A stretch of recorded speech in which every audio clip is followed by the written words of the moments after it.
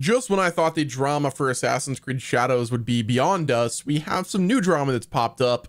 And this is according to Insider Gaming, this from data mined information from Reddit. We're going to go ahead and get into it, but this says Assassin's Creed Animus Hub reveals season pass content for Shadows and more. What does that mean? Well, according to a new data mine leak of the Assassin's Creed Animus Hub, which is set to launch alongside AC Shadows, has revealed season pass content and more. Um, obviously, Insider Gaming said that they reported it by Insider Gaming. The Animus, originally called Assassin's Creed Infinity Hub, will launch alongside AC Shadows. But here's where the information gets spicy. It's a little bit of drama. We love some drama. Um, it says, data mined and leaked by Reddit user Thorites, the battle pass will be called Eye in the Dark, containing 20 different cosmetic tiers. Insider Gaming has also heard of three other battle passes previously named the Hidden Network, The Last Ronin, In the Shadows, all of which had 20 different tiers, but it's unclear when or if they will get released. So yeah, there's going to be a battle pass with Assassin's Creed Shadows. Now, should we have to worry about microtransactions? You know, the the aggressiveness of the microtransactions. We'll talk about that in a minute because we do have some official comments from Assassin's Creed and Ubisoft's community manager. Um, they kind of make this whole situation a little bit less crazy, but we will continue. Uh, the data mine leak also reveals the Animus Hub will have an in-game store where you can play, where players can buy cosmetic items for their characters, environments, and even pets. Um, and they have obviously leaked images we're not going to show on the screen. Um, okay, so let's go ahead and jump into the actual Reddit thread itself. This is where things get pretty spicy. Now, we, like I said, we do have some new comments from the Assassin's Creed or Ubisoft community manager that again, make this whole situation less crazy, but let's go ahead and talk about the initial leak and we will dive into the rest.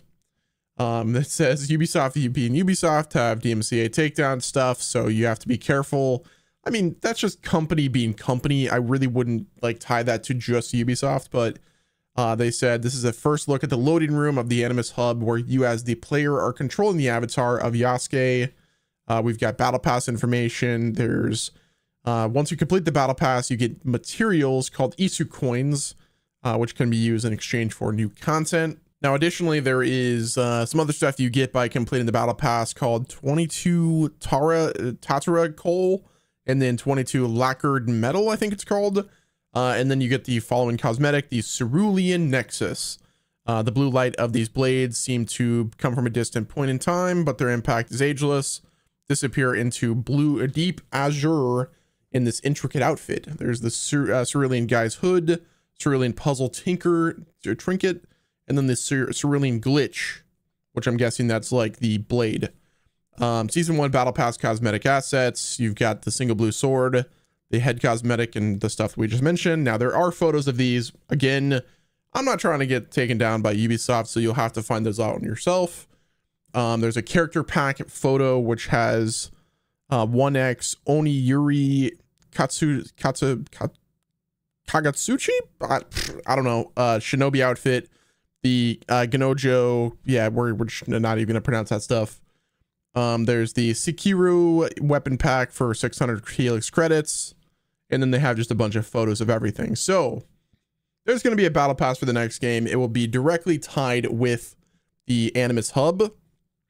But you know, initially, like my, I, I honestly, I saw this and I was like, what are what is Ubisoft doing? Are they deliberately trying to shoot themselves in the foot at every single like pass? Like what what are we doing here, bro?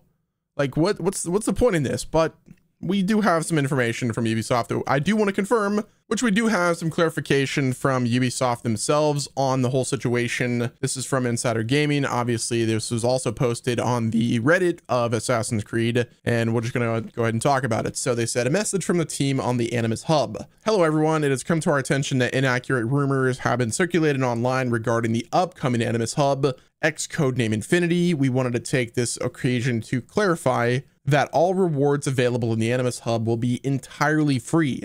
There are no paid subscriptions or battle pass featured in the Animus Hub, and players will have access to regular content and missions at no extra cost.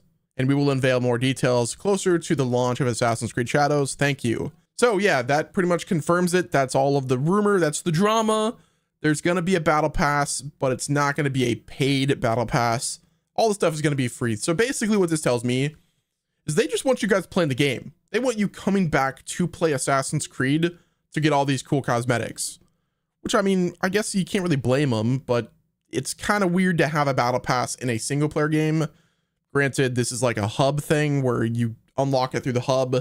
And I'm guessing if you want to just play the game, then all of that stuff will be separate. I, at least I hope so. I don't know. What I will say is the some of the cosmetics we do have from this thing are they look pretty cool. I'm not gonna lie. Like I, I probably will equip some of them, but I don't know. Like something about just a battle pass in a single player game, like it will always be off putting. Um, but I mean, it's Ubisoft. They're gonna keep on doing what they have to do to get people coming back to the game, and maybe that is how they're gonna do it with this whole battle pass system. That's what people are used to. A game comes out, they play the battle pass, call it a day. Um, this is also an attempt for them to go live service, but it sounds like that it's going to be a better model than what we initially thought. I'm sure there's still going to be like a store where you could spend real money, but the fact that the battle pass on the Animus Hub is fully free, all the cosmetics are free as well. Um, they probably just require you to play the game. That's that's fine with me. Like doing challenges in the game to just keep me playing would be okay. I personally won't do it, but some people might love Assassin's Creed and that's all they want to do is play Assassin's Creed, and now they have a reason to. So uh, yeah, I think the drama is a little bit over uh, overblown, but it is what it is. I mean, Ubisoft has done a pretty unfortunate job at you know addressing things, uh, especially with the whole situation from last year or like earlier in the year with you know the DEI and woke stuff that you know people were complaining about. Um, yeah, no, I think that this is a good response from them. They were they jumped out in front of it and they're just like, "Hey, this is the situation. All the stuff is free. Stop yelling at me. I have a family." uh the, the people. but uh yeah, and shout out to Ubi Waldo for clarifying that. That's pretty cool. Um yeah, no, I think uh it's kind of a, you know, like I'll let you guys decide. I know a lot of people are going to be like, "Yeah, no, this should not be anywhere near the game." And while I agree, I don't think it's as bad as it could have been. Um, obviously, this is them just kind of inching closer. Like it could be them inching closer. Like, okay, we have a battle pass in this game. Maybe next game we're gonna make it so that you could buy the battle pass while the paid tier.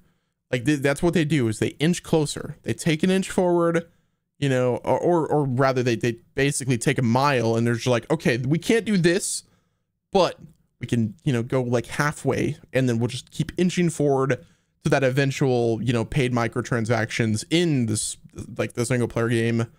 Uh, I doubt they'll do anything paid to like pay to win, but there's definitely going to be a battle pass in the future, and there will likely be a paid version in the next few games, guaranteed. Like there's, they wouldn't do it right now if there's not going to be like a paid tier, straight up. But I want to hear your thoughts down in the comments. Let me know what your thoughts are on this whole situation. Subscribe to the channel if you haven't already. And until next time, this has been Wes, and I will talk to you guys in the next video.